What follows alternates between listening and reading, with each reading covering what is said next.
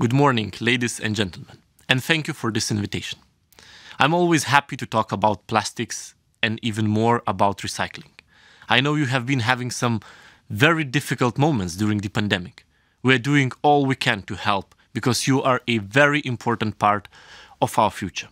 I have also noticed how much technological innovation has gone on at all levels of the plastic value chain, not least with sorting and recycling technologies. Many thanks for these efforts and for not giving up during these exceptionally difficult times. The Commission, too, is determined to stay on track. We already have a very good basis. The EU has the most ambitious waste legislation in the world, with stretching targets on plastic packaging recycling. I am determined to ensure its successful implementation. We have new targets for recycled content for beverage bottles. This measure has been the game changer for the plastic recycling industry. We will explore plastic recycling targets further for other products as well. And we will do much more than that. We have made some very big decisions over this last year. We have found common ground for a long-term EU budget and for the massive new instrument to help Europe deal with the pandemic's consequences, the Resilience and Recovery Facility.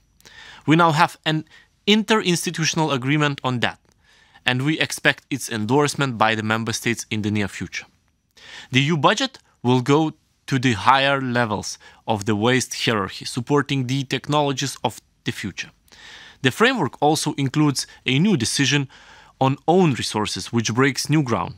The first new own resource will be a contribution by the member state, based on the plastic packaging waste that is not recycled, starting in 2021. We are also on track with the new Circular Economy Action Plan adopted earlier this year and with the Chemical Strategy for Sustainability. The chemical strategy is important for the plastics industry for two reasons. There are upstream measures to ensure that products are safe and sustainable by design, and downstream ones as well to increase safety and trust. But let's look at next year in a little more detail as we have a very ambitious agenda. There is a lot that affects plastics recycling, as I said at the beginning. You are often on our mind. The first thing to single out is the revised waste shipment regulation to be adopted in the spring. There are many reasons for the update, but one central idea is keeping more plastic waste in Europe. This is the best place for its effective recycling and its transformation into new products. Restricting its export is a great circular opportunity for EU recyclers, and we are ready to support you in coping with this new situation. Later in the year comes a major flagship initiative, a sustainable products initiative to really transform design. The idea is to establish a set of sustainability principles which we can then apply to all products. This will include work on the digital product passport.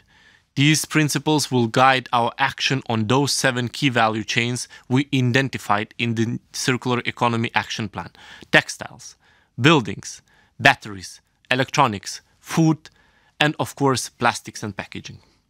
We are still working on the actions for plastics, but most of the elements are now clear. The idea is to provide the right regulatory environment to support the growth of secondary raw materials market. That means, for example, reviewing the packaging and packaging waste directive to ensure that by 2030 all packaging is either reusable or recyclable in an economically viable manner. In this context, you can expect a clear definition of recyclable packaging, which will promote high quality recycling. This review will propose additional measures to limit the continuous growth of packaging waste, and new targets and other measures to promote the uptake of recycled content. We already have ambitious recycled content targets under the Single Use Plastic Directive, and now we are developing implementing rules on how to measure this. Because we need robust mechanisms to verify quality and claims about recycled content. For this reason, we are closely following initiatives like EuCertPlast, in addition to the revision of the packaging directive, we plan to facilitate the trade in high quality secondary raw materials with criteria for end of waste and byproducts. This will make it easier to move materials that are no longer waste around the EU. And lastly, all these policy objectives will be supported by new mandatory criteria for green public procurement. When we talk about boosting this market, we always come back to one element building trust in the quality of the material. Recyclers must lead the way here, developing the governance, transparency, and quality measure, uh, management structures. We are following the developments very closely, and we are ready to work with you on standards which will be developed in the context of the Circular Plastic Alliance. We need solutions. Perhaps they will come with technologies like watermarking. They could be integrated into legislative proposals if that is feasible from the legal and technical point of view. Finally, on plastics. We are also working on policy and legal framework for chemical recycling. There could be a role for these practices, but only if they ensure an overall positive environmental and climate performance from the full life cycle perspective.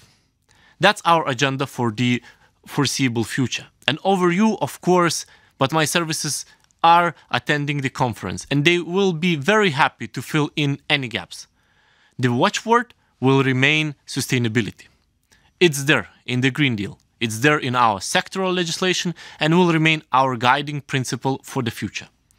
A greener Europe is stronger Europe and one that's more resilient for the future. Thank you again for your efforts in that direction, which have my full support, and enjoy the conference.